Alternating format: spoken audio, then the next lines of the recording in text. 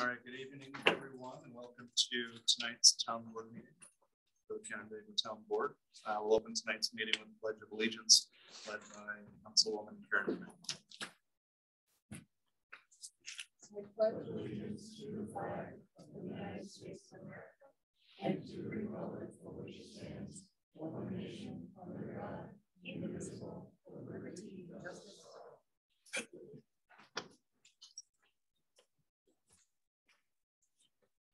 Jean, can you confirm that the meeting was properly advertised? Yes, it was.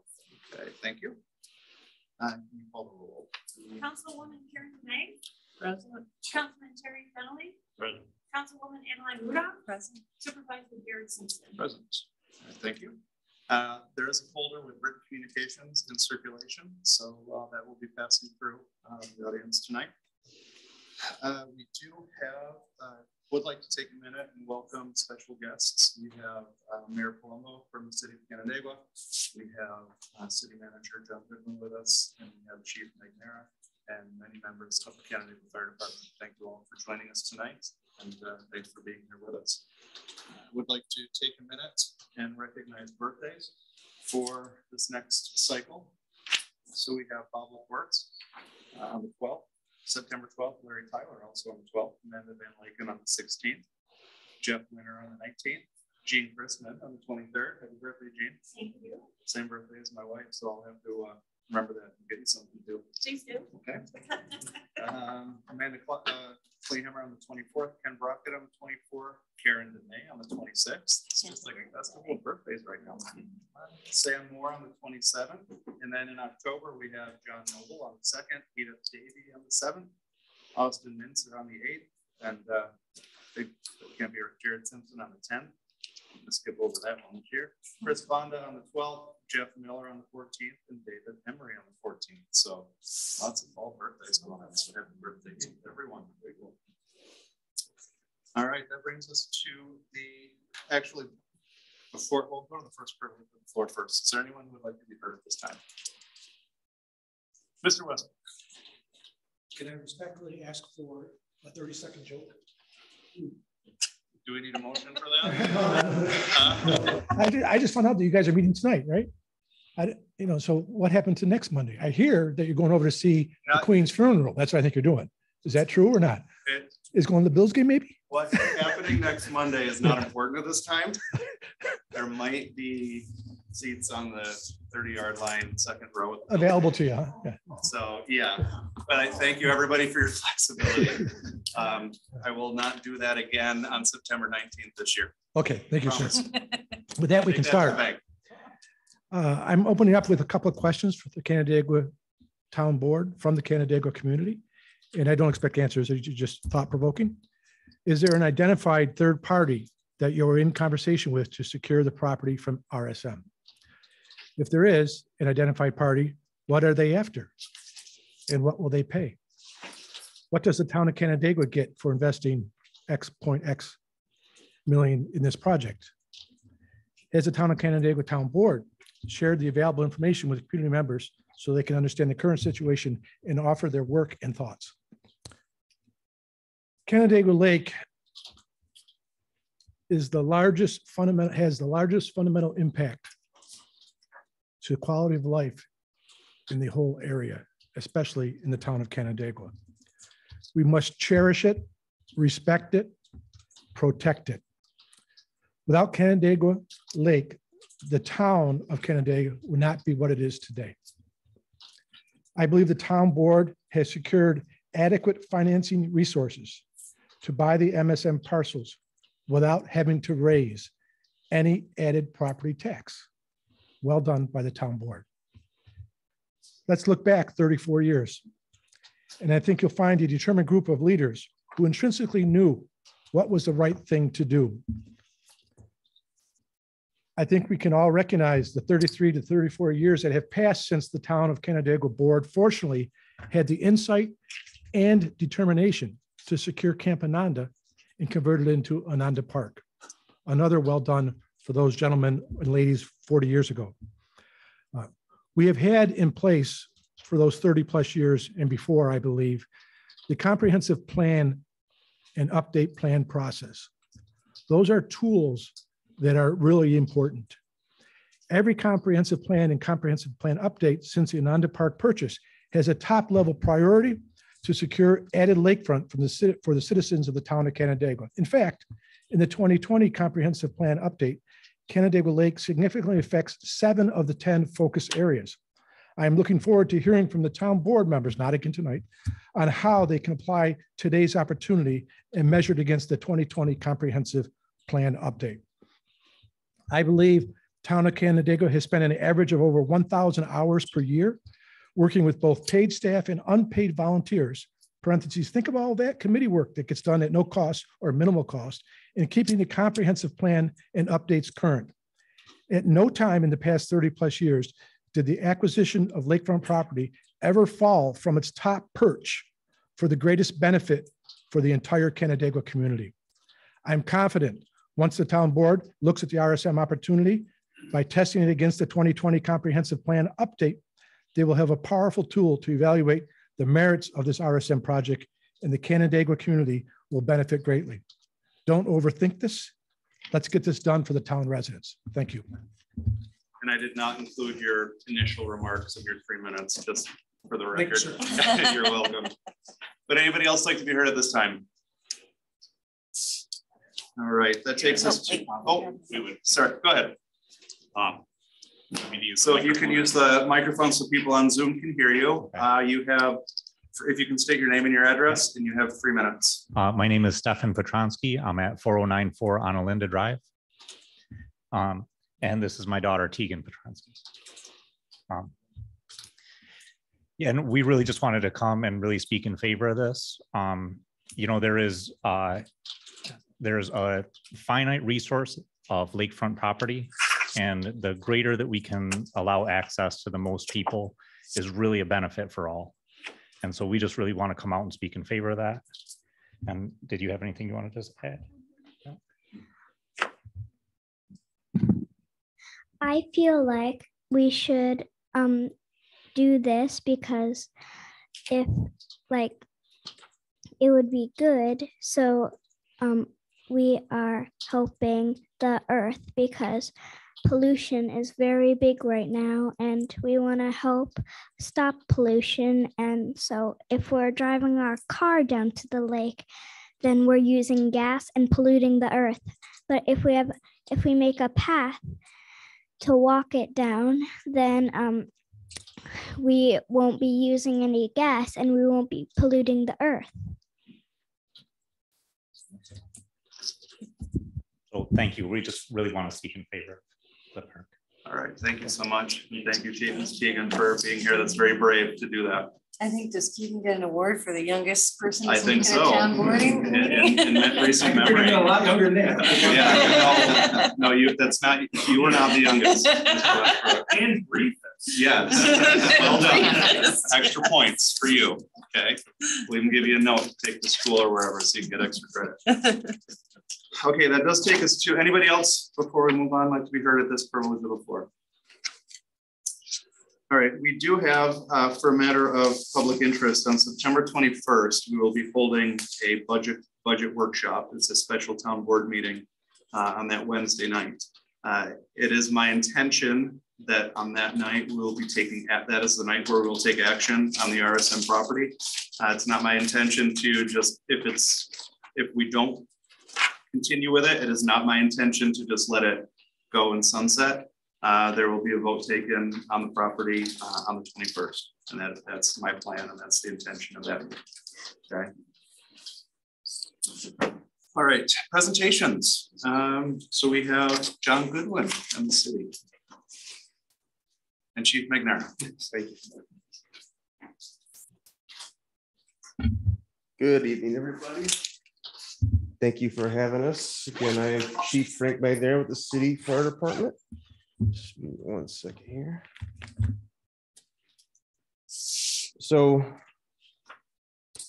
when I usually speak to you during our annual report, I don't really get the privilege to talk about the entire department, exactly what we do. We kind of keep it brief to kind of this year-end statistics, kind of pertinent matters, and just to kind of keep it brief for you guys.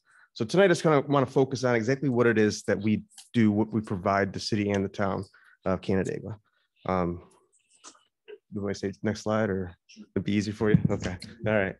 So, so again, the intent is to, to continue our partnership uh, with the town. Um, We've been in business for over 200 and 200 years. And we feel that our experience in providing fire and rescue services uh, to the city and the town um, are exemplary. Um, Let's pull my notes, be easier.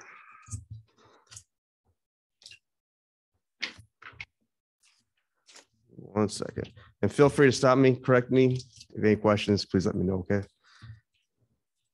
Um, So again, we want to provide you guys and prolong our, our fire service agreement uh, in the years to come. Go next slide. Um, So what is it we do? We provide all hazards fire service. Basically, what that means is we work 24 seven, seven days a week, three sixty-five with paid staff as well as volunteer staff uh, to protect everything that we, we live in, work in and tour. Um, We offer professional and efficient fire suppression, EMS first response, rescue services, emergency preparedness, fire prevention, public education, um, and I'll show you the list goes on more. Chief, how many volunteer firemen you got? So those numbers are dwindling dramatically. So right now we have six. So I have one that's uh, interior qualified and five exterior. Um, Those exterior firefighters are very, very important to us because they free up the, the- the mainly career staff that comes in off duty for the jobs that's hooking a hydrant, providing traffic control, getting tools, setting up ladders, stuff like that. Um, What we protect, obviously, we have four and a half square miles of the city of Canandaigua. Uh, and roughly now we protect about twenty-eight square miles total. Um, as you can see on the map here. That was the pointer works here. Um, next slide, please. Our structure, um, I work under the Public Safety Director, John Goodwin. Um, and with that, I have a part-time office manager and a part-time fire inspector. Below that, we have four platoons of three firefighters assigned to shifts. It's twenty-four seven, seven days a week, three sixty-five. Um, We have three float firefighters. Uh, What that does is basically fill in any holes, vacation, um, planned leave, kind of keeps that schedule uh, to at least three to four firefighters on duty. And then my volunteers fill in obviously as needed. Our staff is the career staff. Each and every one of us is an EMT or has been an EMT. Um, So we have at least fifteen New York State certified EMTs and one paramedic on staff, 24 seven, 70, uh, seven days a week. Typically, it's three firefighters on duty daily. Occasionally, about twenty-five percent of the time, we have four, uh, just depending on how the schedule is. They have to have the required hours. They're required to work twenty, uh, two thousand eighty-eight hours under the contract. Um, During the week, during the day, um, we could have upwards of six more off-duty coming in, available to come to major events. Um, I encourage that. They're allowed to come in in any major fire, any major car accident, any major alarm that, that we need assistance for. And the turnout for that is, is relatively quickly because a lot of them live close to the community, in the town, or in the surrounding community here. Um, plus, we have a daily, part-time fire inspector who comes in and, and helps supplement some of the staffing.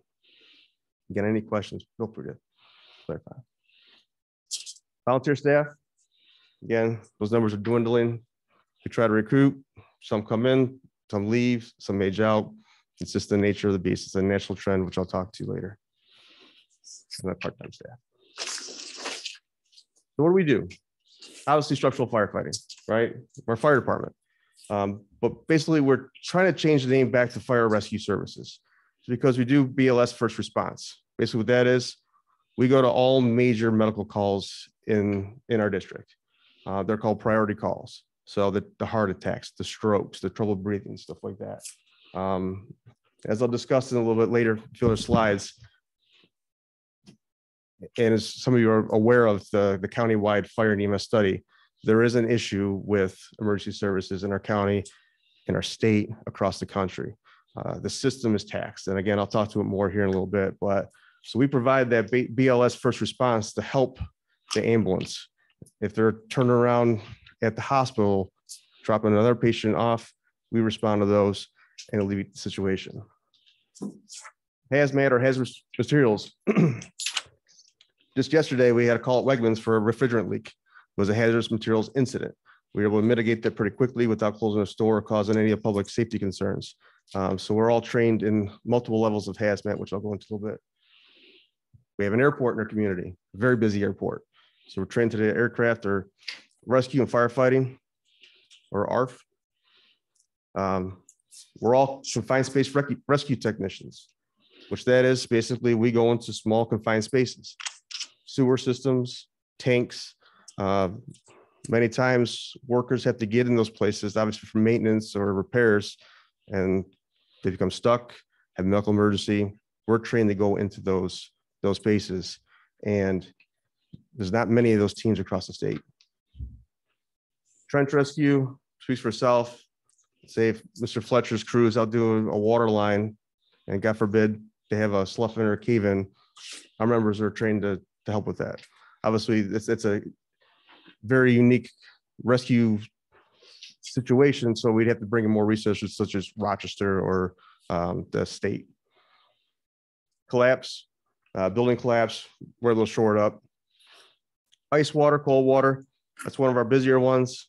Again, year round, that lake has activity, you know, and a lot of times have people walking on thin ice, they fall in, dogs go in, we're trained to get them out. Surface water, uh, last year, it was last year, year before, last year, I had the uh, entire department, about uh, 15 or 14 members, uh, get state certified in surface water. Basically, what that is is um, the surface water is the lake or pools or or ponds uh, to get people out safely. High and low angle rope rescue, animal rescue uh, speaks for itself. Um, fire prevention, education, and community risk reduction. That is one of our bigger ones. Uh, we provide all the school um, with fire prevention, um, daycares, community groups. Um, we enjoy getting out in the community and really spreading the fire prevention message. Fire inspection, plan and plant review, pretty much what I do. You guys provide me plans of all your construction coming in, and I review it, make sure it's uh, acceptable for, for the fire department. Fire arson explosion investigation, we have our own team, our own unit. We have three members that are level one, level two certified, as well as I am a nationally certified fire investigator um, and emergency management. Next slide, please. So again, what else do we do? You know, community engagement, provide tours. This last weekend, we're at Ice Cream Social. Guys loved it. Got ice cream and hand out uh, fire prevention stickers and all that fun stuff. Um, again, support the school events, community events. We speak to organizations. Tomorrow, I speak to the Kiwanis. I'm having them at uh, at our station for lunch, them a tour and just kind of an update on the fire service. Uh, Pre-plan our community risk and tactics, we'll get, well, which I'll get into in a little bit. Again, any public engagement. And answer questions, provide guidance. You think it's a no-brainer, but since we are the only staff department in the area, other than Geneva and Fishers, many times I get calls from Yates County or uh, Prattsburgh, Naples, because they have a question about smoke detector or, you know, fire extinguisher. Try to provide them some guidance. We, we, we try to get them back to the home department. But when they call back and say, nobody answered and I want an answer now, we provide them some education, you know, but that's just the nature of the beast. Any questions on what we provide? So again, it's more of an all hazards approach to firefighting. Our training. Each member meets or exceeds New York State law, part four twenty-six. Um, they go to the New York State Fire Academy or an equivalent fire academy. It's a three to four month academy process. It's a very rigorous training program. Um, after that, once they graduate the fire academy, I put them through a sixteen week in-house FTO or field training, just to make sure that they're prepared for the rigors of Canandaigua Fire Department. Again, the lower staffing levels and the risk that's associated with, with our community. Um, so that's sixteen weeks. All of our interior qualified volunteers meet NFPA. We're the New York State firefighter one, firefighter two. All of our career fire officers, like captains here in the back, they all went to FDNY for training, frontline supervisors training. It's a month-long training program designed for frontline supervisors and get your fire officer training. Um, Very important to know how to run a fire scene or incident scene. Please.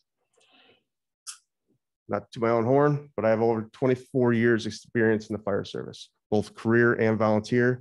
I have multiple degrees in fire science, fire dynamics, fire and safety engineering, and I have a master's in emergency management and homeland security and safety, as well as fire uh, administration. Um, I meet the municipal law that was passed a few years ago on the requirements to be a career fire chief. Um, and I'm an NFPA certified fire protection specialist, which is only about 4,000 in the country. Um, excuse me. I've been on the phone with other people today, so bear with me. So on an annual basis, our career firefighters and volunteer firefighters meet a bare minimum of 100 hours. It's a requirement that the career firefighters must have with the state. Uh, we exceed that just with our daily trainings, um, our department-wide trainings, um, and all the, the conferences and training opportunities we get to go to. Um, and this is just a list of a few. I'm not gonna read them all, but you can see there's a wide range of topics and training uh, agendas that we are required to provide the state.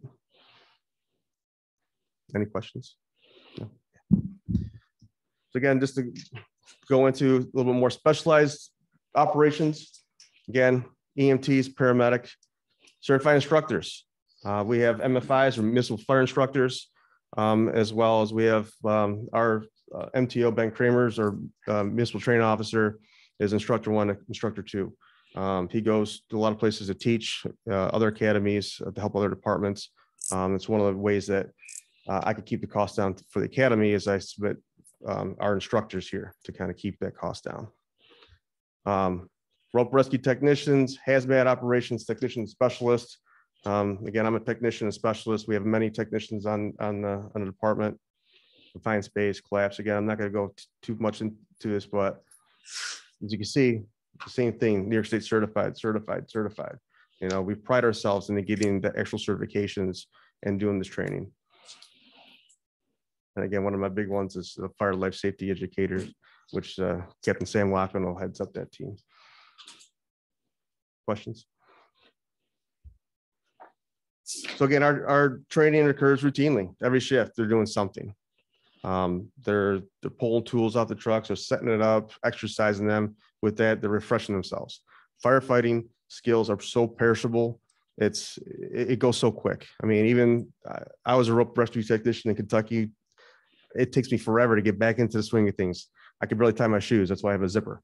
So it's, I encourage them to routinely train, do online training. There's so many opportunities out there to train. Uh, so they do that every shift department wide, we get together uh, to do the, the bigger evolutions and drills, uh, such as auto extrication and some of the more technical stuff. Um, obviously, they're not going to pull multiple hand lines off the truck and put themselves out of service unless we have more members there to quickly put it back up. Um, so annually, we're required to do all those trainings, and we do that. Uh, we do multiple live fire trainings at the, the county um, and sometimes outside of the county, Monroe County. Um, and again, we are the only confined space rescue team in the area that's certified. Questions on training? Okay. Brief overview of our infrastructure. Um, our stations built 1990, um, over 32 years old, both these stations, um, and they're starting to age.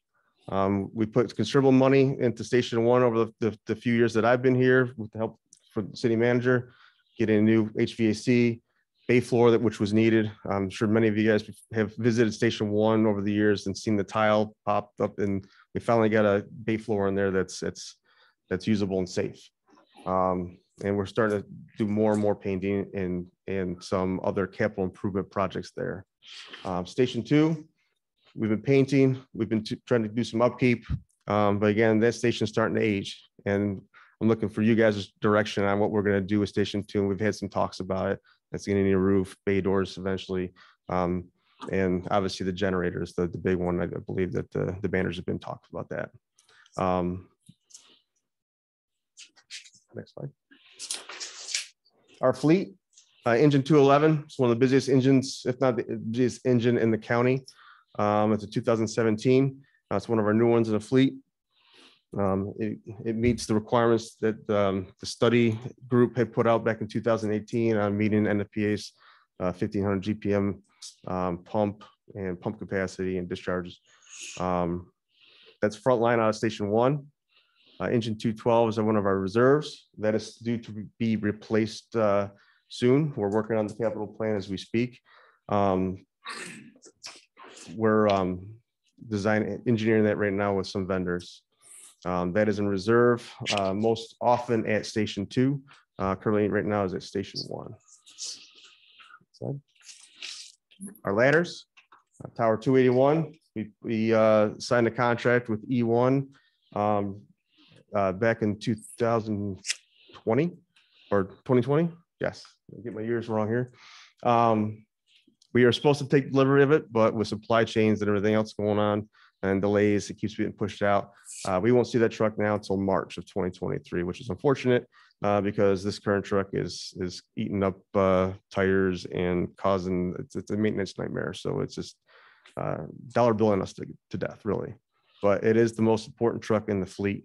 Um, we have a we have identified numerous buildings that uh, need to reach that 100 foot ladder. Um, obviously, with the new hotels, um, many of the businesses and apartments on Main Street, uh, as well as uh, the surrounding community, uh, needs needs that ladder. Chief, how many stories would that be? Uh, so uh, that'll reach about nine stories, depending on how the building is built. So one of our the, the most tallest building is is um, 80 Parrish Street, six stories, about 75, 80 feet tall. But again, you got to worry about reach and the way the truck is parked. Um, so um, we, we expect the new one to be a hundred foot platform as well to, to meet that requirement. Uh, Ladder two eighty-two, um, it's two thousand thirteen that, um, is in the capital plan to be replaced in twenty twenty-eight or to begin engineering for a new ladder truck, um, in twenty twenty-eight. Um, we rotate these back and forth for frontline, depending on maintenance and, and whatnot, but we'd like to keep an engine and a ladder frontline at all times. Some of our support vehicles, Squad two sixty-one, it's a light rescue truck.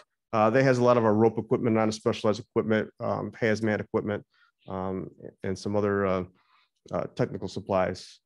Um, that is my old vehicle. I recently uh, repurposed that, uh, to be the fire prevention vehicle. Um, the fire inspector, as well as our fire prevention folks, uh, will take that out. Uh, they were taken out of the diesel truck, but you guys know gas prices right now, so uh, this truck is pretty efficient in fuel. Uh, so the day to day, the inspector can get out and uh, be seen with that. Um, last year, I repurposed uh, a DPW uh, street supervisor's truck, the plow on it. Uh, we put that in our special operations division to pull trailers, pick up hose, pick up supplies, people carrier, plus it has a plow. Um, you guys know in the town, there's many houses that sit well off the road. Wintertime comes, it's, it's hard to get an ambulance in without getting stuck. Uh, we'll run that um, in front of that to at least maybe clear out some areas, clear out some snow. Um, and it's been a it's been a very good truck uh, in addition to the department thus far. Uh, as Doug mentioned before, he heard my truck coming down the road. Um, that is, is my new uh, fire chief's vehicle or incident command truck. Um, it's a 2021 hybrid. Um, again, I, I, we purchased that um, back in 2020 and just took delivery in May on that just because of the supply chain issues. And then we also have a technical rescue trailer that has our confined space equipment, some other technical equipment in there. Questions on the fleet? I'm not going to harp on NFPA 1901. We do follow that uh, replacement schedule. Um, it is part of the national consensus standards um, on replacement of frontline vehicles, and we try to stick to the any frontline apparatus that's over 15, we move it to, to, to reserve if it is capable to do so. Next slide.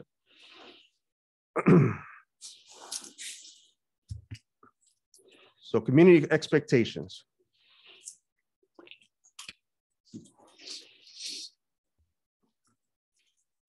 So what do we look at as a fire department? So, and what does the community expect out of us?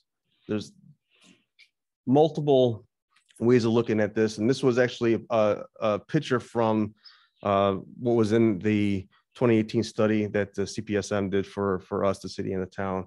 Um, it looks at staffing levels, how you deploy your apparatus, our station locations, travel times, EMS demand, uh, workload, et cetera. Um, on a routine basis, I do this every single, at least monthly to kind of look at our statistics.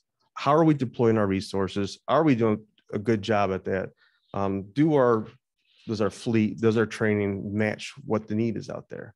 Uh, so this is a continuous process in my office. Um, next slide. So community risk.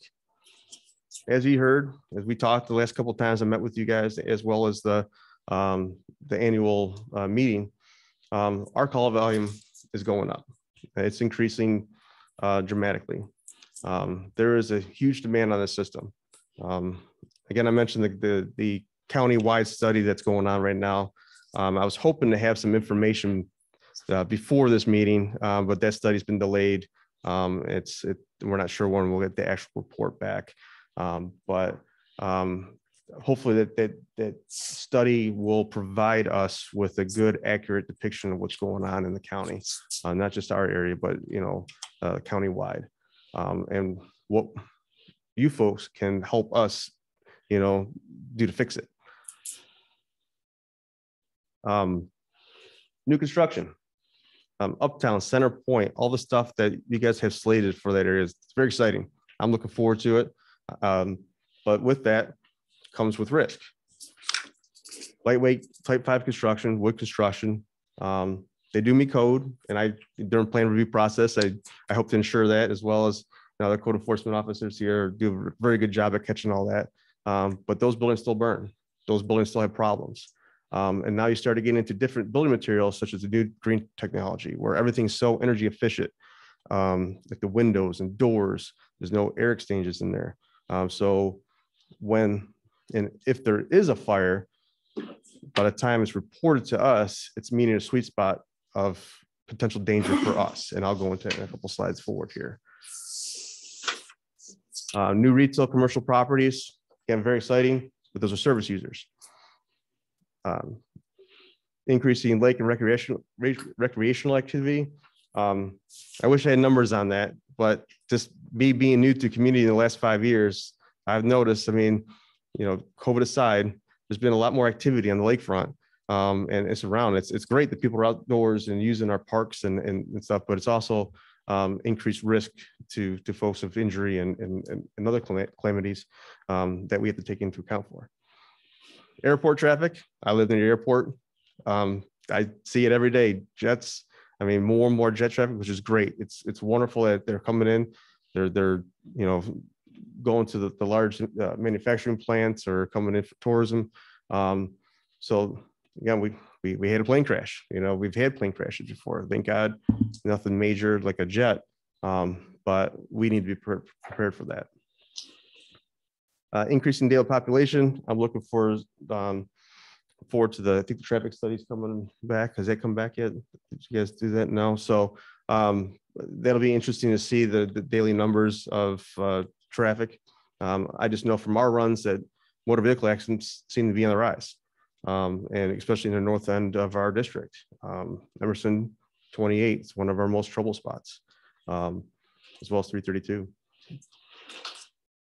Um, other risk is tech risk. Everything's going to lift lithium ion batteries, hybrid vehicles, Teslas, um, hoverboards, e-bikes. You guys could, you know, you're probably in social media, you probably see the videos out there. It's violent. It's very, it's, you know, it's, it's dangerous. Um, so dangerous that FDNY just did a symposium um, a few weeks ago, or I believe it was, last week, um, on how they're going to try and limit um, some of these um, uh, e-bikes and hoverboards in tenement buildings, apartment buildings, just because they're so dangerous. It causes a large loss of life. uh, we have an aging population, our demographic. Um, our, our demographic keeps getting older. Um, people are living longer, which is wonderful, um, but they are service users. Um, just a quick note that about half of all fire deaths and injuries are either children over older adults. And that's what we focus our fire prevention on yearly as we go out to senior homes, uh, communities, and obviously the schools. I- increase for demand for EMS and rescue services, aging infrastructure. Um, and as we know, we're, we're vulnerable to biological pandemics. You know, it's just, it's just ever changing. And I hope that, uh, this one's, you know, starting to leave us, but, uh, we don't know what's around the corner, so we get prepared for that. Next slide. Um, so again, I typically do a community risk and vulnerability assess- assessment. Um, when I look at plans, when I look at neighborhoods, when I look at businesses, we do pre-plans. Um, I do it to the NFPA Fire Protection Handbook, high, medium, low hazard occupancies. Um, obviously, our, the lower hazard are, are one and two family dwellings. Um, and then our higher hazards uh, occupancies are the hospitals, schools, nursing homes, um, industrial areas, stuff like that. Um, that assessment helps me determine what staffing levels we need. Uh, so, single family dwelling, according to the NFPA, um, need a minimum of 12 members. Um, typically, we, we turn out that on a, our normal structure fire response. Uh, immediately, we're getting three to four firefighters plus me. Um, callback for manpower as well as assistance from surrounding volunteer agencies or uh, the VA fire department. As you can see, you know, we start getting into larger apartments, uh, three-story apartments, you need 27 firefighters immediately on scene within nine minutes. Any questions on, on this matrix or? okay. This is a uh, graph showing over the last uh, 10 years or so, the increase of call volume. This is total incident calls for the city and town uh, for our district and this town only. As you can see, last year was quite the jump in numbers uh, for calls for service. Um, I believe right now we're over 350 right now for the year for town.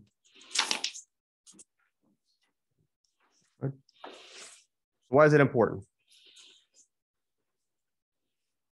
Time. I mean, it, everything that we do is timed. The EMS chain of survival, you know, somebody's having a, a heart attack. You obviously want to get there quickly, right? So we turn out the door pretty much instantaneously.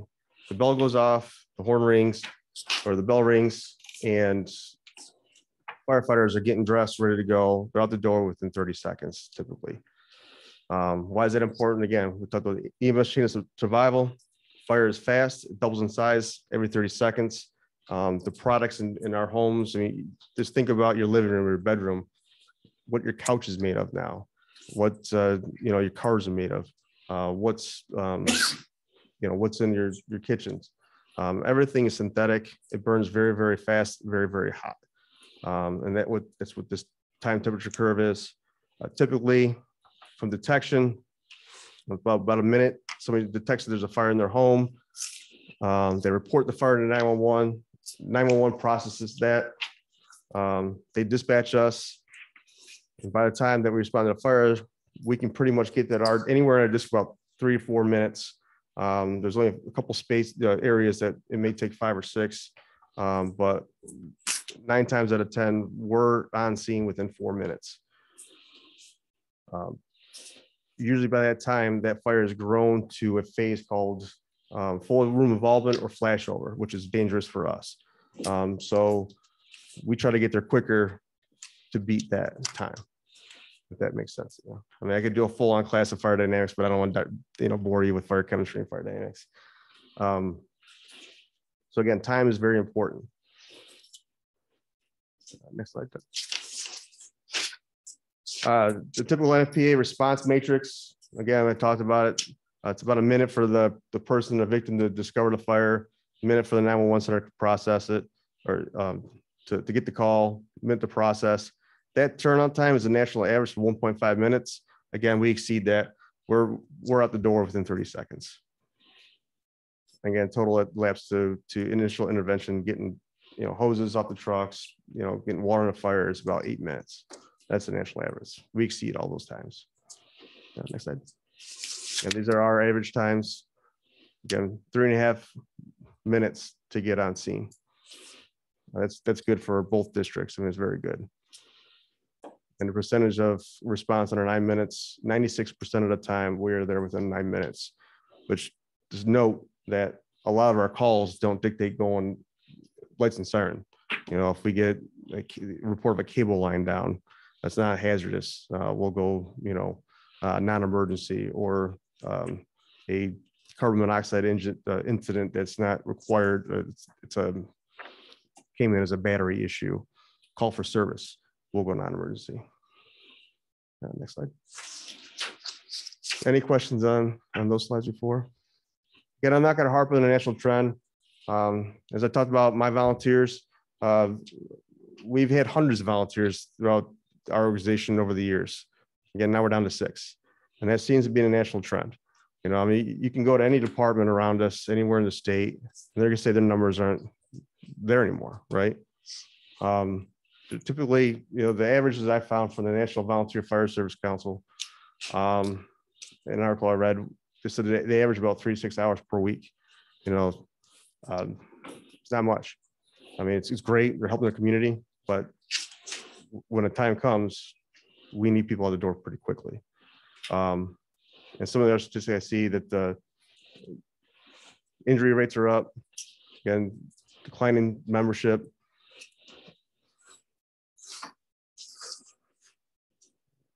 Next slide, please. More on that one. So moving forward, what are we doing in the city here? Um, again, I talked about our fleet. We're currently engineering two engines and a heavy rescue truck. Um, we're looking at getting those into replacement schedule. Right now, you're looking at two-year build time in a fire engine. Um, as you I mentioned before, our tower truck was supposed to be here by now and it's got pushed out again. Um, so minimum about six hundred days. They say it in days to make you feel better, but it's two years, you know, so um, we're trying to get our name in the hat, get that going. Again, talked about doing capital improvement projects, you know, upgrading our stations, you know, investing in them, making them last another thirty years. Um, generators, roof, bay doors, all the stuff that wears out over time. Um, I purchased SCBA, uh, brand new air packs for SCBA's. Um, this year, we're supposed to take delivery with them, um, uh, coming up next month, radios, new tech equipment. Um, I'll try and speed this up for you guys. Sorry. Um, so again, I'm, we're researching new techniques, technology, equipment to keep up with the times. You know, gear changes. Um, again, I, I mentioned that the fires are getting hotter and faster, so we have to have the proper turnout gear, proper equipment to, to to combat that. Um, and I'm always looking at capital improvement and continuous improvement. Uh, Next slide. Um, we're going to continue building our, our community partnerships. Uh, we've been at Pactiv, we've been doing their safety days the last couple of years, which has been great. Um, tours, uh, understand their processes, understanding, so we teach them how we respond and what's the appropriate response if a fire or emergency ever happens. Uh, Akoustis, I was out there a few weeks ago, um, and I evaluated the permit, uh, permit required confined space program. Make sure that both parties understood what processes they had out there and where their workers are, you know, so in case, you know, again, God forbid something happens, we can get to those places very, very quickly and understand the risk that's for us as well as their employees. Um, Trolley Station, I mentioned Trolley Station because one, we're there a lot. It's a big service user. Um, but every year, last year was the annual, uh, first year is, uh, and we're, we're having an event coming up in October. Uh, it's basically, um, a partnership with law enforcement, EMS and fire, um, with their residents. We're having, it's called Beanbags and Barbecue. Uh, so it's a cornhole tournament with the residents, uh, as well as they're providing lunch and it's just a, it's a day, day event out there and they enjoyed it last year and we're going to do that. We're going to continue to provide fire prevention education. Um, I am actively, have been trying to reduce our ISO PPC rating, which is a 44X, which is still uh, a very good rating for our area. Um, but our last true evaluation was in 2005, the water system. Um, and Jim probably understands that way before BF, again, before Frank. Um, and they did another evaluation in 16, but they didn't include the water uh, improvements that we've done, you've guys done, as well as the city's done in the years.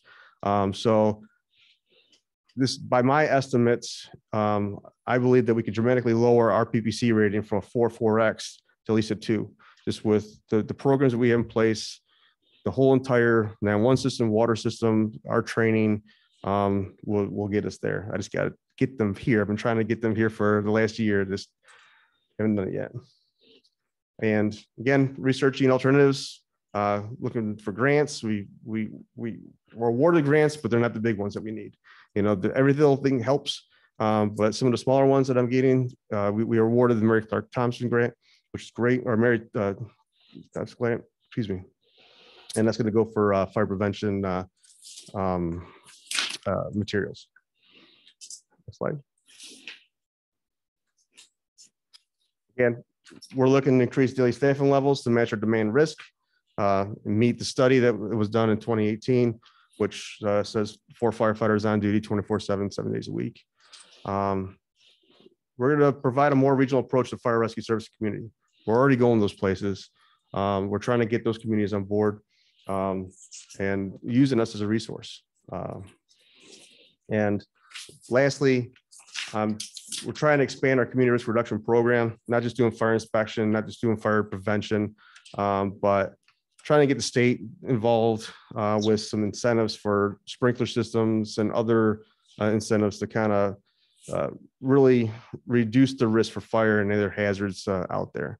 Um, but um, that's a work in progress, and I got to get that from the state. So, um, questions on that? Sorry, I was long-winded, but I just feel like I never really get a chance to really tell you exactly what we do um, and kind of paint that picture. And I hope I did. Questions? Uh, there is conclusion from, from my part, and then I'll turn it over to, to city manager, uh, John Goodwin for his. We might have some at the end, so don't get too comfortable. You can keep going, Doug, there. Uh, So um, Frank gave a good uh, presentation of of what we do for, uh, what they do every day to protect both the town and the city. Um, And we've had a shared services agreement for many years, and we'd like to continue that shared service agreement. Um, And we, uh, and the town manager and I have been talking, talking about that. Um, You know, and as you, you are already aware, we did not come to uh, agreeable terms at this point. Um, But what was requested of us is to expand to our career staffing of eight to eighteen, uh, to expand our coverage area to, uh, for automatic aid uh, down County Road sixteen all the way to Butler. Um, And there was an inquiry about potentially covering the entire town. Uh, We can do the first two um, and more. Um, You can go to the next slide, Doug. Um, So we pro-offered a, an agreement that's a fair distribution of costs uh, for the fire and all hazard emergency uh, response that we provide uh, for all taxpayers, city and town. Um, It does recognize the large increase in call volume as- as the the chief showed. Uh, The town call volume in the last 10 years increased 234% um, and is running consistent there this, this year at that same level. Uh, Next slide, please. So the, you know, the formula that we came up with, because we tried to have it based on facts um, and not just uh, conjecture, um, was looking at that total call volume, looking at the total assessed value in just the current coverage area, weighing both of them at fifty percent uh, to determine that the town's uh, overall cost share would be twenty-eight percent.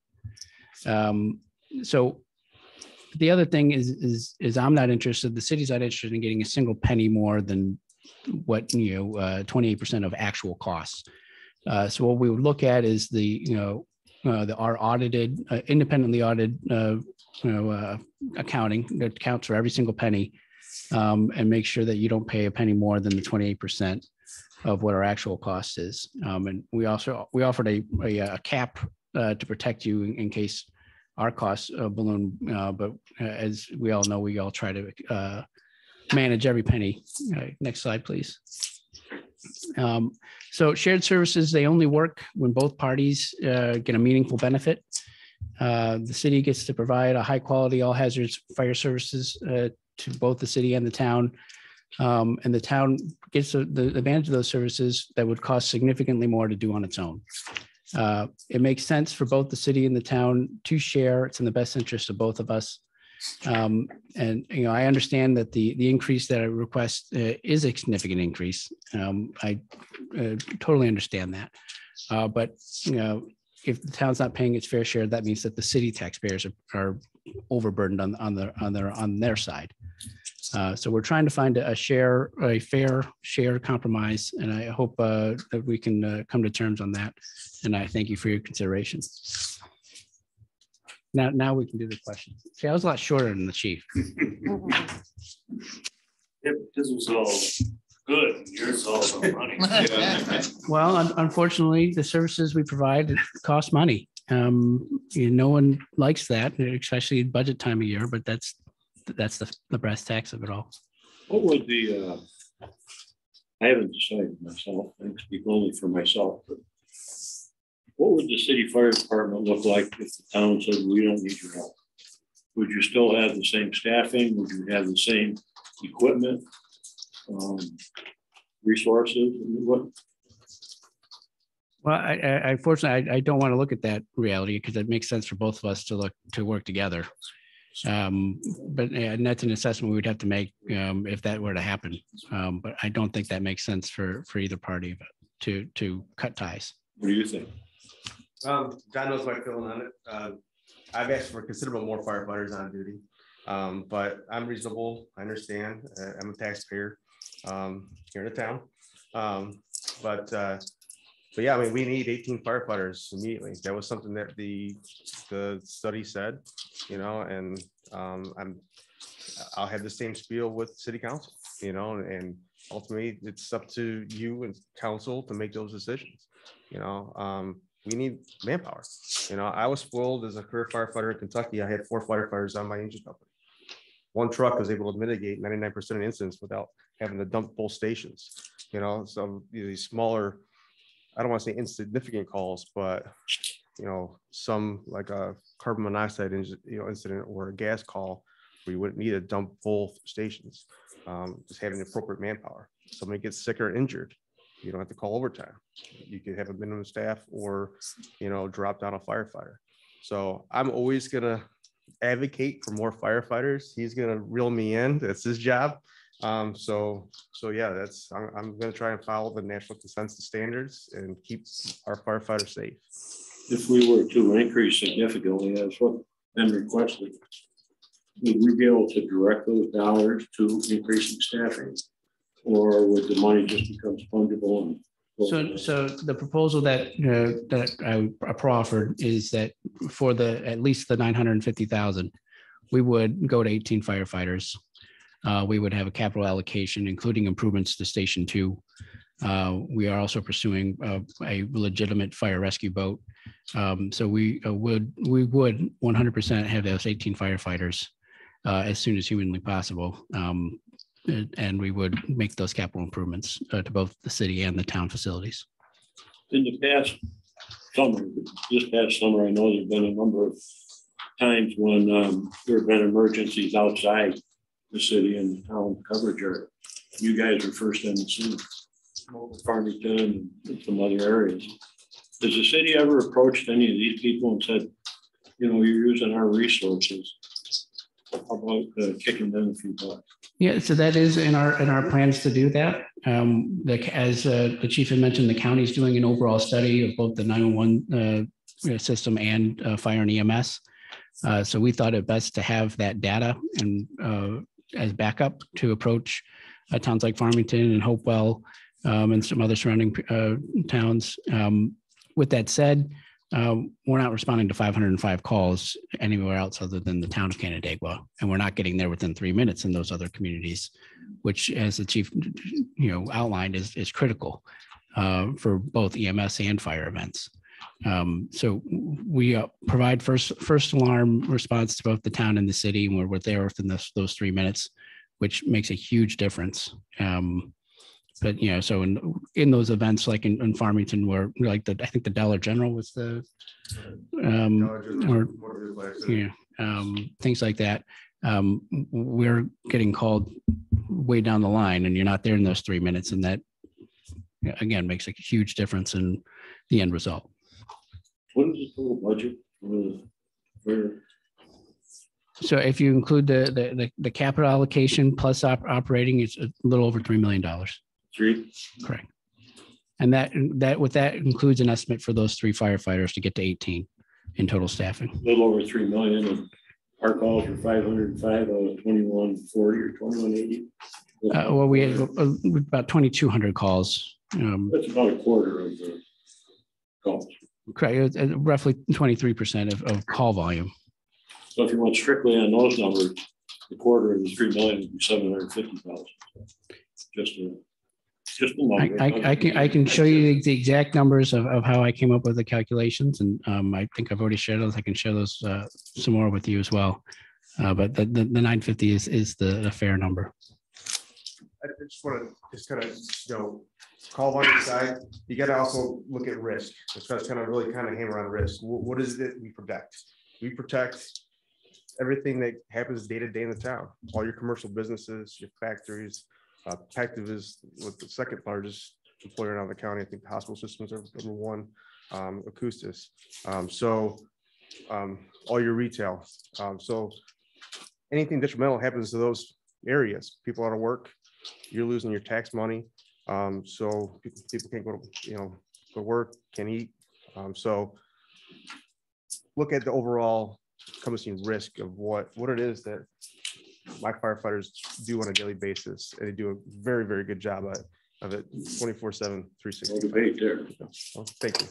I just wanted, I always forget to mention that, you know, in the beginning, how much I appreciate what they do on a daily basis, and what little they have. Um, so, um, I'm very proud to be their chief. Um, I'm, I'm looking forward to, to moving forward, you know, and, and, and, yeah, we'll, uh, we can do. So, um, Chief or John, either one you can answer, you're probably gonna have different answers on this, so I'll, you can come together and figure it out. Um, what's your ideal number? I mean, we've got high-rise occupancies going on the lakefront in the city. The chart says minimum of forty. And we're at eighteen. So what is your, what's your ideal number? Well, we're not at 18 yet, uh, but the, the goal right now is, is to achieve 18. Right, well, we're, should be at sixteen and we're at fifteen, right? Uh, Well, we are 15 firefighters plus, plus the chief gets us to 16. Um, And the only reason we didn't get there sooner is COVID got in the way and, uh, and uh, and we can rehash all that details, but it, it doesn't matter. We're at that number now. Um, The goal is to get to 18. Uh, Once we get to 18, we'll have four on duty. Um, And then we'll, we also plan to pres- talk to other community partners uh, to expand further. Um, You know, so, but that'll depend on what ultimately gets built, uh, What's your where. Plan, like the, um, I would assume that the downtown. When the other down, when we have, we'll have two, we have, should eventually someday have two pretty significant hotels downtown. And when the second one is finished. What is your plan for that? And have you addressed how you're gonna fund those extra firefighters to get to that number? Because we all agree that you need more. What's the plan to get to that end? So again, the, the good thing about shared services is we can all achieve the goals for the overall community without overburdening any one municipality. Uh, so the plan is to continue to work together with our community partners, uh, which includes the town. So do you have anything specific?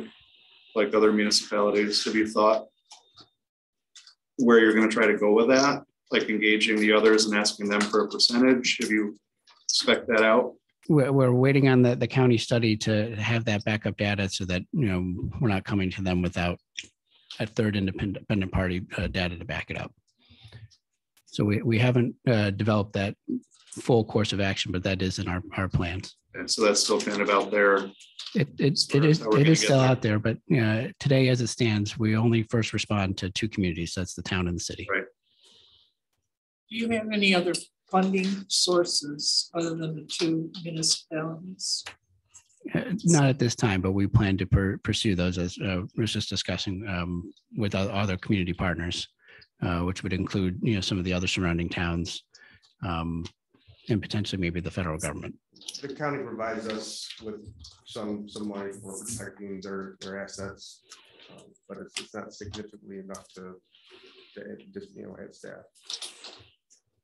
Do you have any um more specific numbers? I'm looking at your increasing calls for service slide. Um, do you have any more specific numbers on the percentage increase from like twenty twenty to twenty twenty-one, I see a pretty significant jump there, obviously. Um, I mean, like the, the breakdown of those calls. yeah, I'm just wondering, I mean, what the percentage increases. I I are can there, provide so. that to you. I have just a quick report. Yeah. Um, it's just pages that I don't want to tell you guys, it's Mhm. with graphs and charts and I leave that for my annual report. Um, but I can certainly, if you want to break down per year of, uh, different call types, um, under the nine subcategories of NFIRS, I can certainly provide that. to you.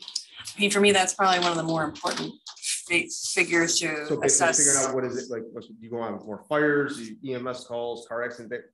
All the calls? above, but I mean, I mean, Okay. for, for me, if I'm trying to determine why you need more people and more money, it's gonna always come down to you're getting a lot more volume calls coming in, and obviously there's a pattern here as well. Yeah, so if you look at the, the overall total calls in the last ten years, they've grown about eighty percent in total. Um, if you look at just the city's calls, it's sixty percent. And as I said, if you look at just the town calls, it's two hundred and thirty-four percent. Uh, so there is a driver there. I'd like to see a smaller window than ten year, um, We can do that. so that when we're talking about tax increase to our constituents, we can, Do you want to see a three-year or five-year a, a one year and a one three year, year three-year? would be great. I think you guys need to go back for it. What happened in two thousand seventeen? Yeah, what happened in two thousand seventeen? Seventeen. I was only here for a very short time. That's What did you do? BBF. What did you do, Frank? Um, but, Yeah, I mean, there's, it's, you know, there's ebbs and flows of, you know, anywhere, um, but. Yeah, but yeah, the, the chief is approaching his fifth year anniversary, uh, Yes, working for, coming up. us- for us here. Twenty-one eighty-four. Step function. All right, Terry, go ahead. I said it's real step function. It was just- Yeah, But That's- keep that's- in mind, we asked the city to cover a larger portion. Well, That's why I wondered if that Uh, one, Reflected in the- So that could have been when that was,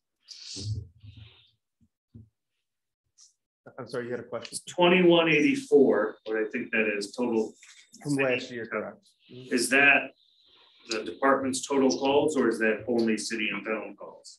That's the fire department district only. Including Farmington, the calls? Yeah, so if we get mutual aid at the Farmington, that's included in those numbers, correct?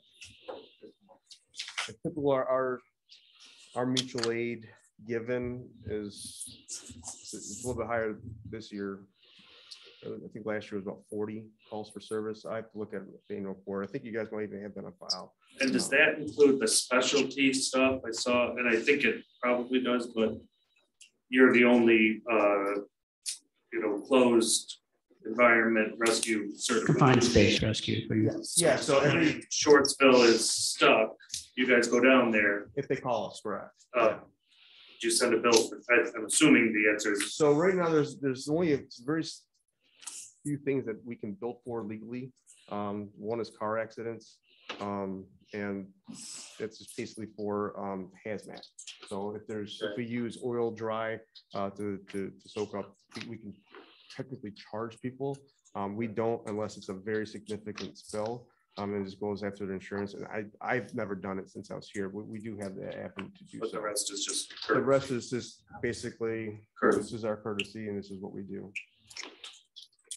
And again, I, I- I don't like to, he- he, he might kick me for it, but I don't want to charge anybody anything, but. There, there is the, the county mutual aid program and, and we, we respond accordingly through, through that, that shared service agreement. is the, uh,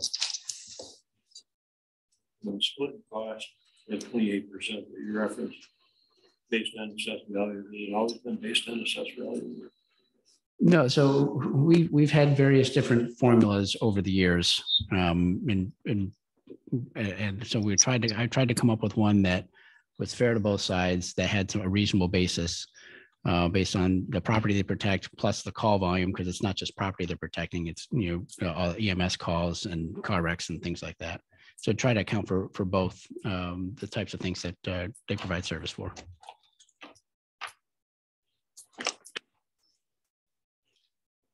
any other questions from the board?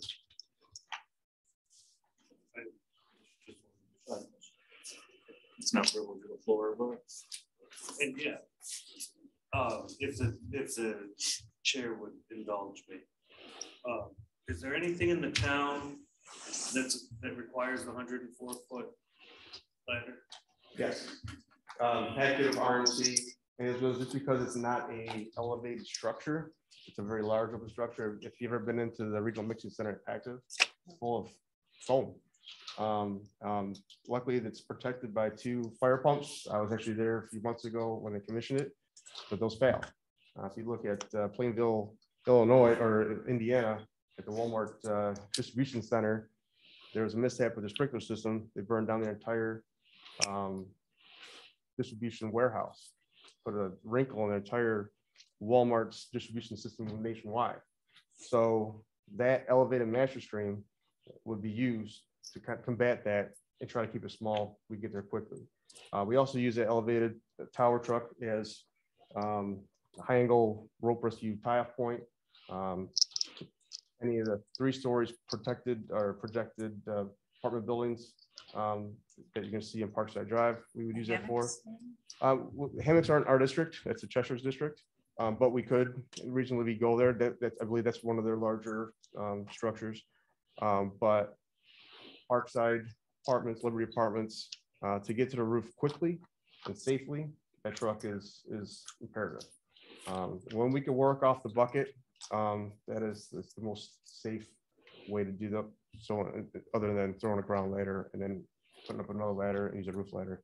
Um, so, so yes. It sounds like everything gets more dangerous over seventy-five feet from what I was reading for everybody involved. Yes. It's probably something we should keep in mind with planning. I mean, that's, that's, that's, um, Yeah. Yeah, and what we did propose is we would expand our coverage area. We would cover, uh, coverage all the high-risk areas that, that the town has. All right, thank you very much. Thank you, everybody. Thank you for the time. And the report, thank you so much. Thank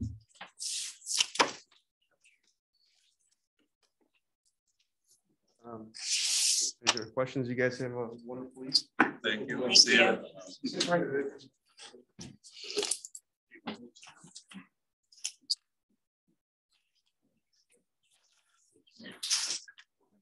All right. Thank you, thank you, thank you. Thank you. Thanks for coming in. Stay, you know, you don't get- See you, Mr. Karen, Palumbo. about mayor.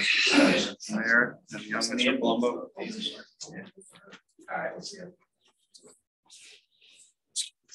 Thank you. Thanks for coming. Anybody else want to leave? No, Is Karen, that an you have to stay. It's an Not letting you leave. She needs her perfect attendance. I know.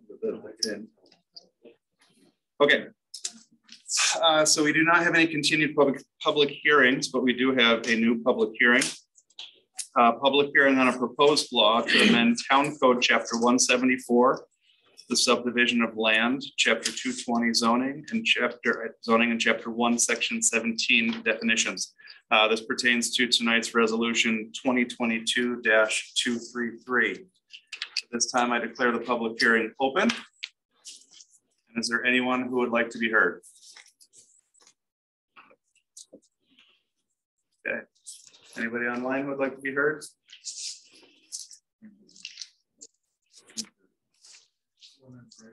Okay. Linda, I think you have the floor.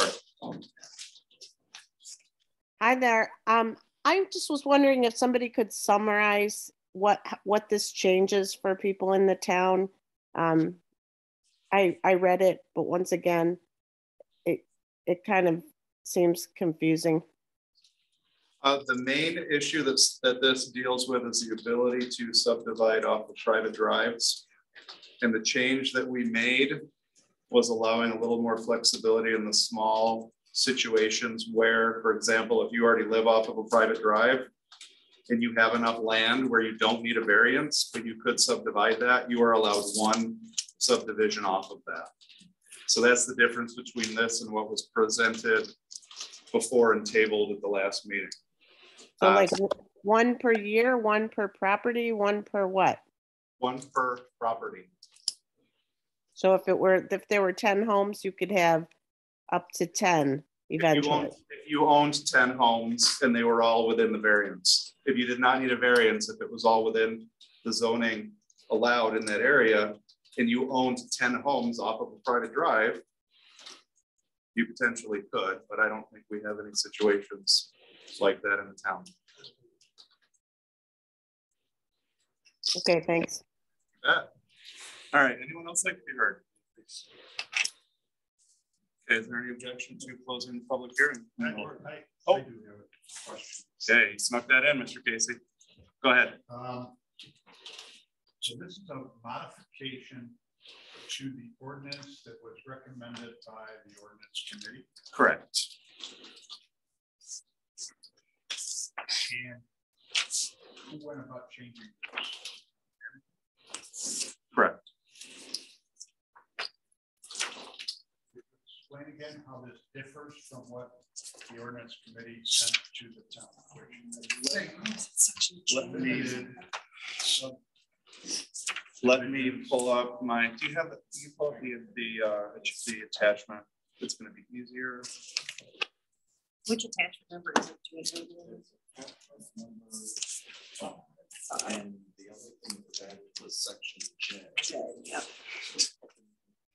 You might be, you might beat us all to it.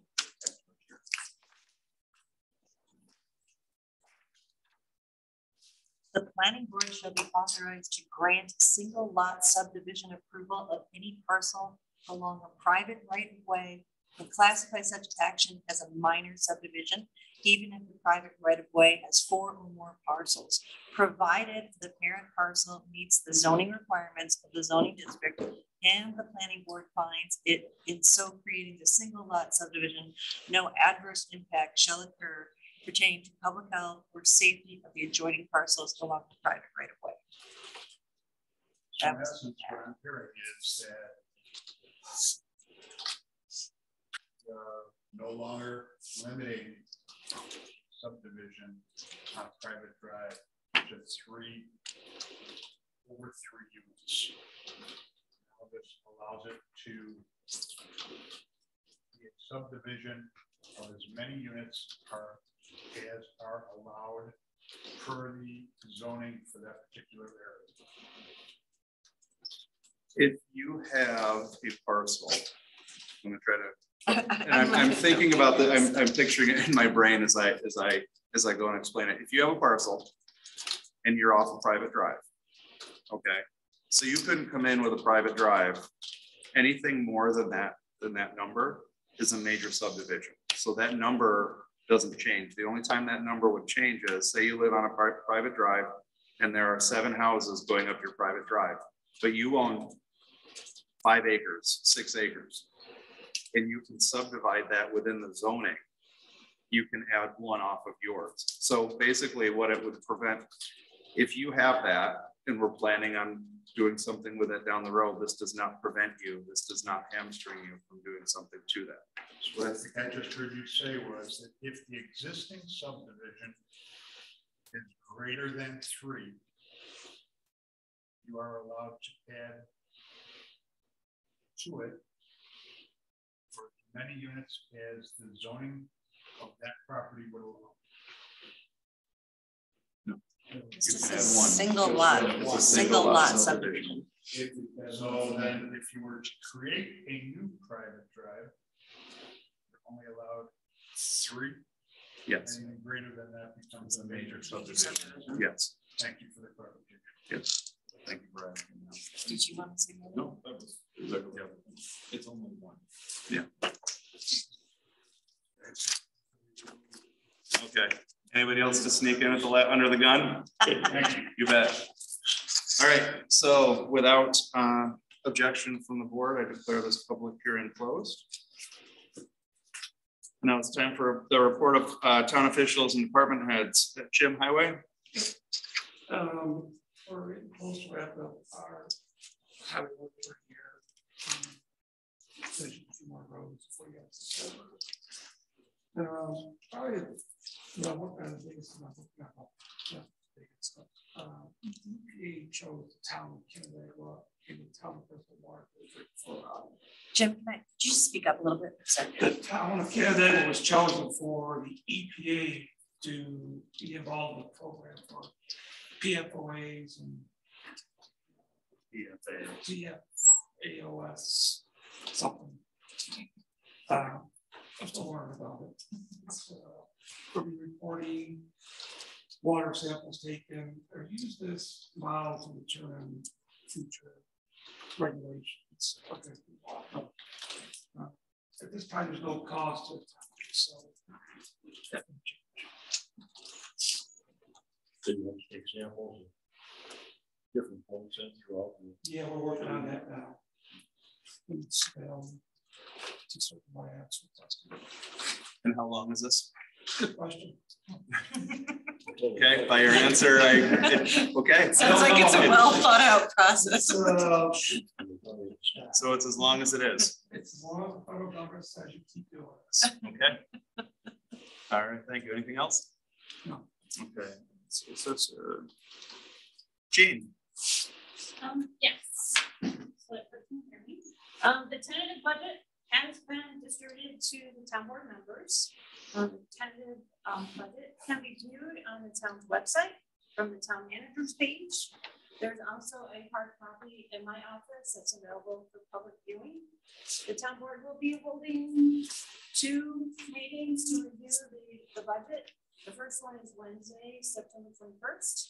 The second one, if necessary, is Monday, October third. Both are at six o'clock. Both are here at the town hall. So I just wanted to announce the distribution of the twenty twenty-three tentative budget to the town board members. thank you. Oh, oh, yeah, the twenty-first will be down in the Oriana room, um, because Newsport is in here, but on the third, if we need it, we'll be back. All right, thank you. Thank you, Beth. Can, can I mention a congrats? I saw you were a choice as a collecting officer mentor in I New am. York State. Yes. Very exciting. Congratulations. Thank you. Shauna, do you have anything to share at this time? In addition to my report. Okay, I think she said nothing. Yeah, you kind of got, yeah, you didn't get, yeah, a little slow on the release of the microphone there. All right, uh, town manager Doug, do you have anything in addition to yours? Okay. Uh, likewise, I do not have anything in addition.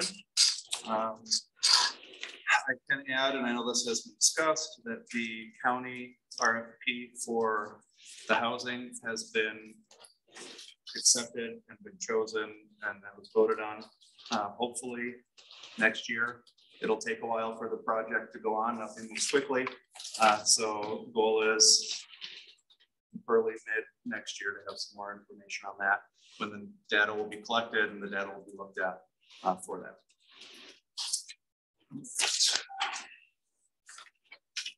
Uh, I don't have anything for finance. Karen, do you have anything to bring up for finance? I do not. Okay, other than the budget information. So we'll see everyone in here on the twenty-first. Well, squeeze in. None here. Brianna. Yep, we'll all squeeze in there. Uh, Terry, anything for public planning, public works? Uh, we didn't have a meeting this month. I couldn't get enough of the, the group together. There is a resolution in the uh, package tonight though for uh, uh, MRB to uh, do a preliminary engineering report, the county uh, Road twenty-eight sewer uh, effort. Okay, thank you. Um, John, anything from ordinance? No. On development, uh, ECB, Adeline. Uh, yes, uh, we are still planning our, uh, environmental fair on October twenty-second, where we will be borrowing some space from Mr. Fletcher. Thank you very much. Um, and also I wanted to draw your attention to, there's an ECB, they wrote a memo, uh, supporting the conservation teams, uh, memo as well. Um, regarding their support of the, uh, thirty-nine fifty County Road sixteen purchase. Uh, Shauna, anything from the CIC? Um, not at this time. Okay.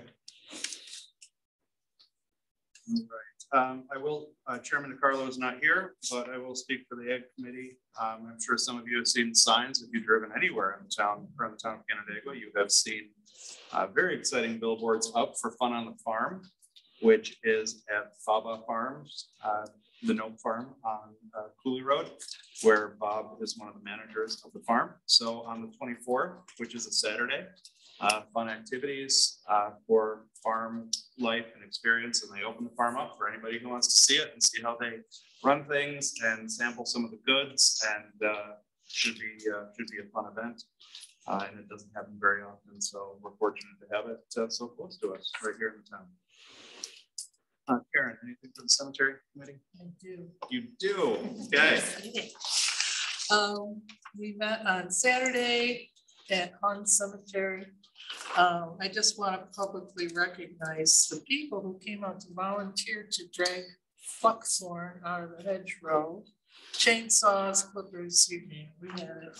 Uh, so the committee members who were there were Mary Schneider, Judy York, Dave Stone, myself, and then Kate Silverstone Jensen, Ray Henry, Barb Henry, Dennis Brewer, Dr. Marion, Jim Benet, and Lee Fair Cassell. Nice. We were all there for almost three hours. Yeah.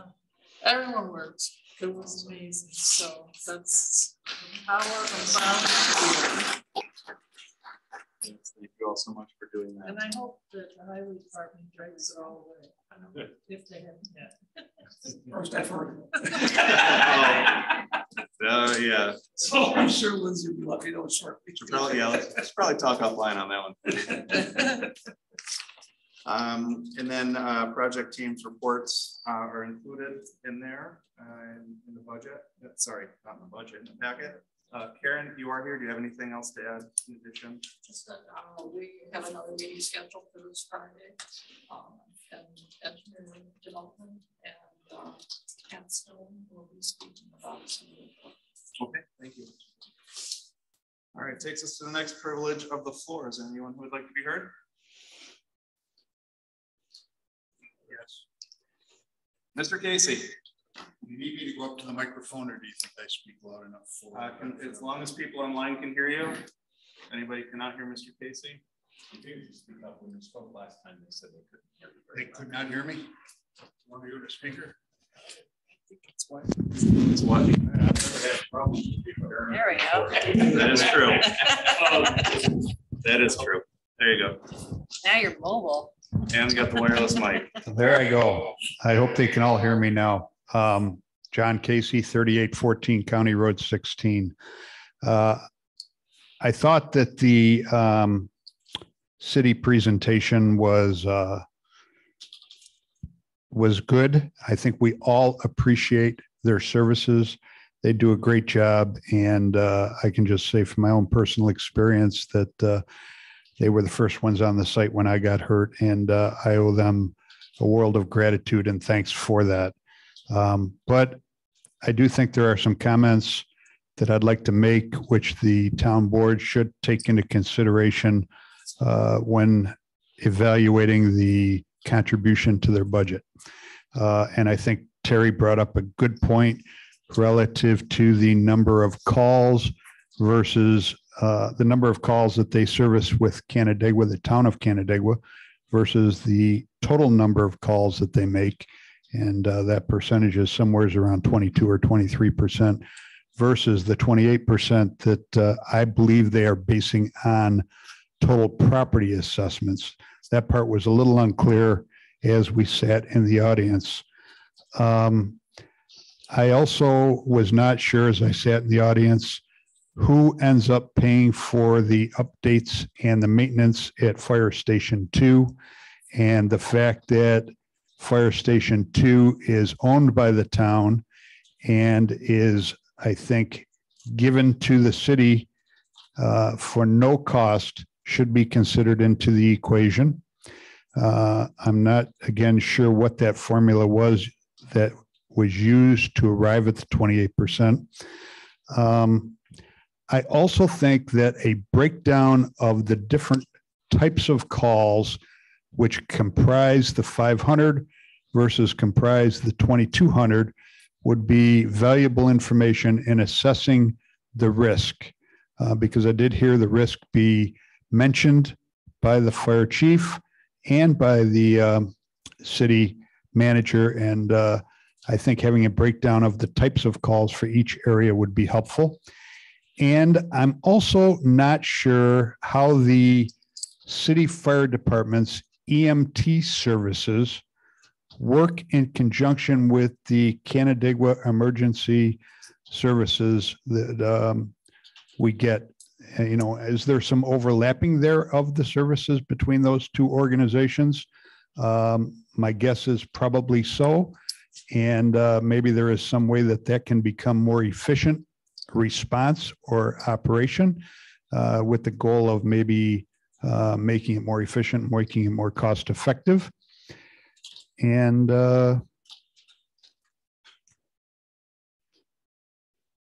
another consideration may be the number of structures in the town versus the number of structures that are in the, the city. Um, Again, that might help evaluate the risk uh, that the fire department experiences. So I hope that's helpful and thank you for your time. Thank you. Anybody else would like to be heard at this time? All right, seeing no hands, takes us to resolutions and motions. Uh, resolution number two twenty-eight, acceptance of the monthly financial reports. I'll offer that resolution. Second. Okay, moved and seconded. Any discussion? All in favor? Aye. Aye. Carries. Uh, resolution two two nine, acknowledgement and authorization of budget transfers by the town manager. Moved. I'll second that. Moved and seconded. Any discussion? All in favor? Aye. Aye. Okay, Carries. Resolution two thirty, authorizing a budget transfer in the Canandaigua Consolidated Water District for emergency repairs on Kramer Road. I'll second it. Okay, moved and seconded. Uh, Jim, do you want to add anything to that? Your crews were doing a great job Yeah, working over the, yeah, over the yeah, weekend. major Water main break two weeks ago. Um, this is to reimburse the highway for labor and equipment. We fixed the road, paved the road, stone.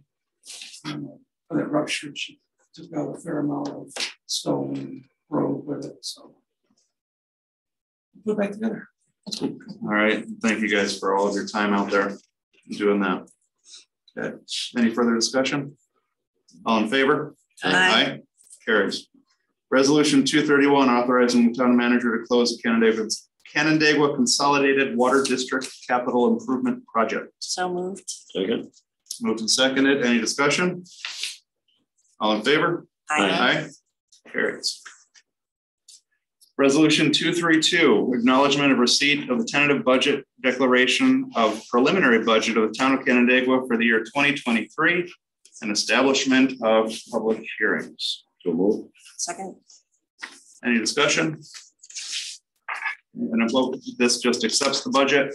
At the budget workshops and the public hearing, we'll have further discussion on the budget.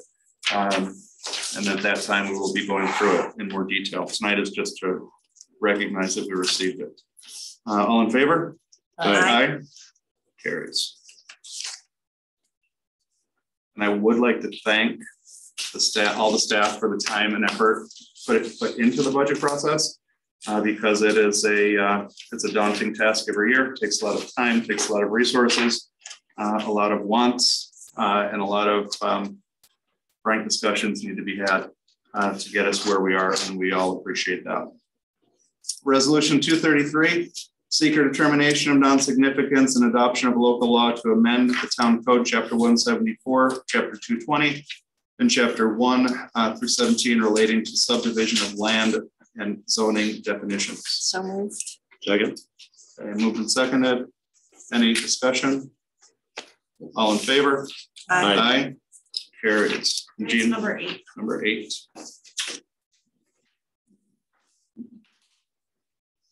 Uh, resolution 234, appointment of finance clerk two. So moved. I'll second it. Moved and seconded. Any discussion? All in favor? Aye. Aye. Carries. Uh, resolution two thirty-five, acceptance of the town of Canandaigua Planning Board twenty twenty-two annual, re- annual report. I'll second it. Moved and seconded. Any discussion? It's very well written. I'm gonna have to use that as a. Yeah, as a- that as a template. As a template for my future. Yes. I'd like to thank um, Chairman Euler for all his, his work on that. Uh, moved and seconded. All in favor? Aye. Aye. Carries.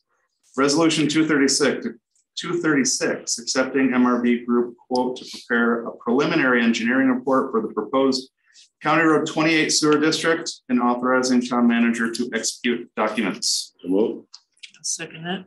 Moved and seconded. Any discussion? All in favor? Aye. Aye. Okay, carries.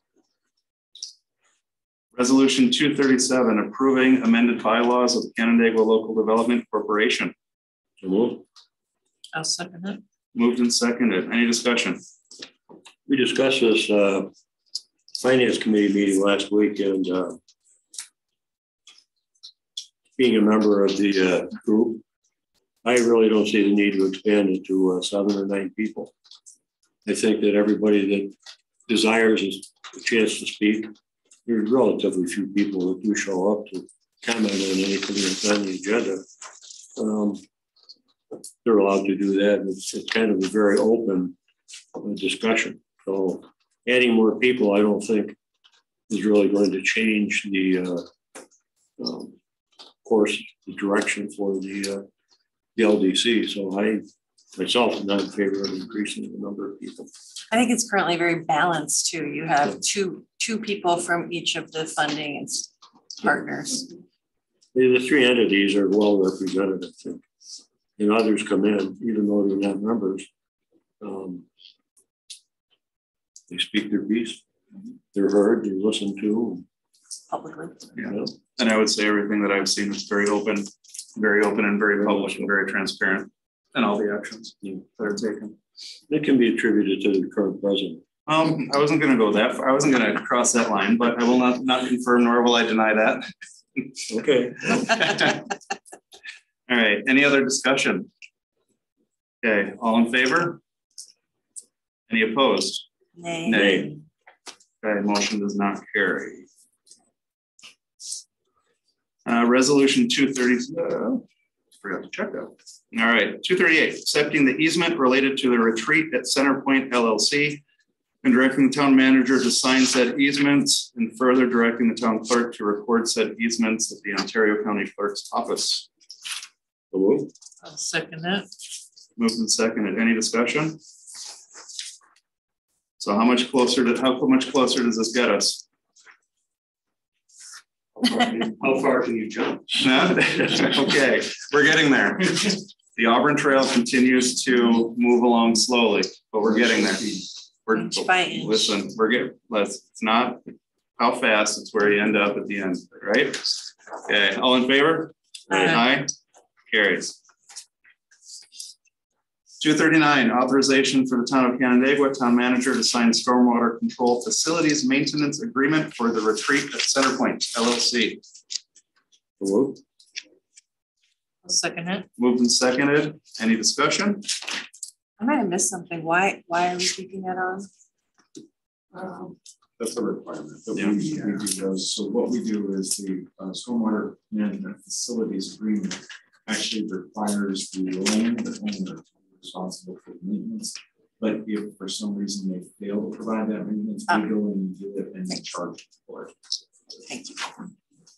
All right, any further discussion? All in favor? Aye. Aye, carries. Uh, resolution two forty, authorization to proceed with mixed use zoning referral to planning board for advisory report. Hello? I'll second. Any discussion? So I, I brought this up in finance as well. Um, I have reser, I mean, I know this is just referring this to the planning board, but I have reservations. Uh, because I know we've discussed, we got, we need to expand potentially industrial zoning in the area. Um, I'm a little concerned about, um, reducing the industrial zoning in that area. So I know I've got a lot of industrial questions in that Right. parcel as well, so. Right. And like we, we have ta- talked previous times. And sometimes it's not always on, it's not always clear. Um, Sending this, and this is for everyone, sending this to the planning board is not a stamp of approval for the town board. It's not our, you know, it's not our, our blessing. It's just the procedure to get it to the planning board. And then it comes back to us for a further, um, further review. So the developer, anybody else can't construe that as a, as a, as an approval for it. Um, But I do, and that's something that we can, as it comes back, definitely look at. And I think the planning board, looking at our minutes, can take a look at that as well. Kind of see where they are with their advisory report, but it's a valid concern. Any other discussion?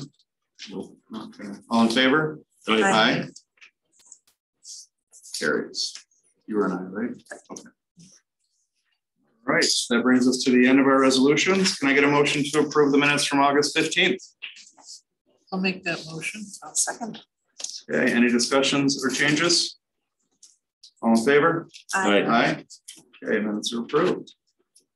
Okay, payment of the bills. Jean, could you go through the bills? Certainly. Utility abstract dated August 29th, 2022, totaling $9,471.16.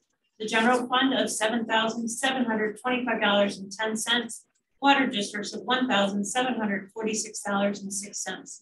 Town Board abstract dated September 12th, 2022, totaling $246,900, I'm sorry, $496.16. General fund of $86,904.29. Highway fund of $106,753.02.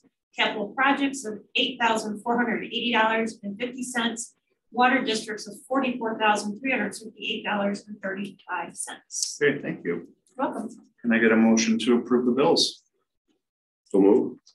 I'll second that. Any discussion? All in favor? Aye. Aye. Bills will be paid. All right, takes us to the next privilege of the floor. Anyone like to be heard? Anyone online like to be heard? Okay, no hands and no hands. Uh, we do not have any other business at this time. One last privilege of the floor. I have just a quick note. Um, if we need an executive session for the November, I was wrong, the November twenty-first meeting. I'd love to have it before on November twenty-first rather than after. Okay, So. Make a note, can make a note of that. Okay. Sorry about that. Oh. All right. Anybody else like to be heard for privilege of the floor? There are no executive sessions requested for tonight. Oh, can I get a motion to adjourn? Oh, Second. All in favor? Aye. Okay, meeting adjourned. Thank you, everyone.